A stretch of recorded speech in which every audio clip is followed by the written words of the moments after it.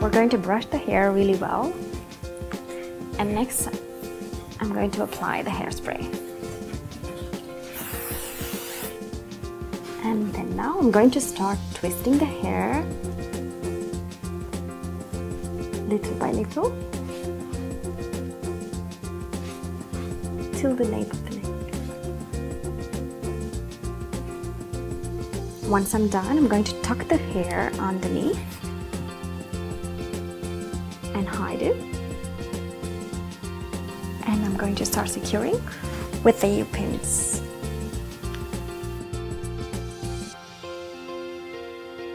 Once it's secured, I'm going to take my tail comb and I'll push the hair higher here so that I have more for you.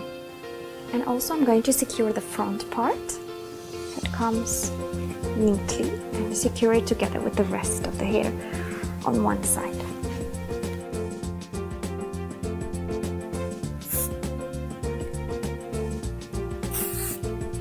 This is how we create the French twist.